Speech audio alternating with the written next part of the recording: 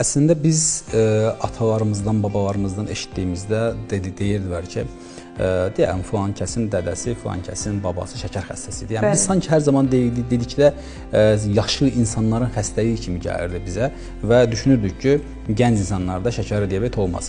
Məsələn, tip 1 diabet gənclərin xəstəliyidir. Bunu qoyduq kənara. Tip 2 diabetdir bizim buraya günümüzün ən böyük bəlası tip 2 diabetdir. Bəli. Tip 2 diabetdə isə bizim dediyimiz kimi deyil, sadəcə yaşlılarda, qocalarda gördüyümüz xəstəlik əslində z- vaxtında heyva idi xəstəlik. Bu gün artıq 30-lu yaşlara, 40 yaşlara gəlibdir.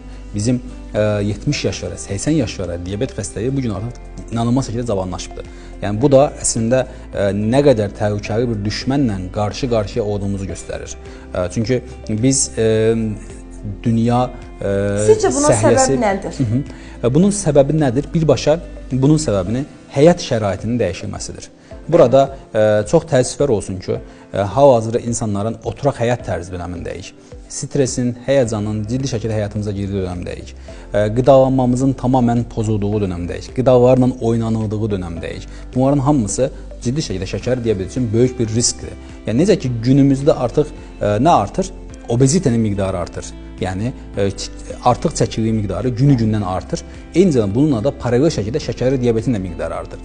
Yəni insanlar əgər aktiv həyat tərzində olarsa, ciddi şəkildə idmanla məşğul olarsa, qidalanmaya ciddi nəzarət edilirsə, hətta şəkər xəstəyin özü belə e, sağala bilən xəstəlikdir bunlarla.